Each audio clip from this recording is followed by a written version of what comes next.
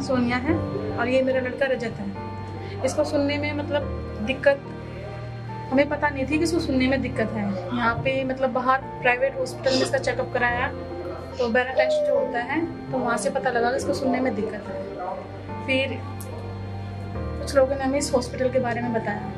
चाचा नेहरू बाल चिकित्सालय हॉस्पिटल फिर हमने इसका यहाँ पे आके ट्रीटमेंट कराया। यहाँ से ऑपरेशन हुआ है और फ़िलहाल में ऑपरेशन अभी इसका सक्सेस हो चुका है।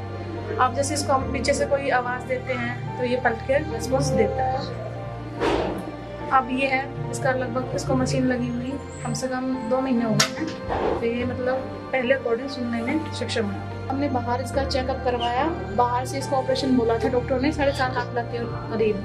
फिर हमें यहाँ पे बताया गया, चाचा नेहरू बाल चिकित्सालय हॉस्पिटल के बारे में। तो यहाँ से इसका ऑपरेशन कराया तो यहाँ से हमें फ्री में हुआ है।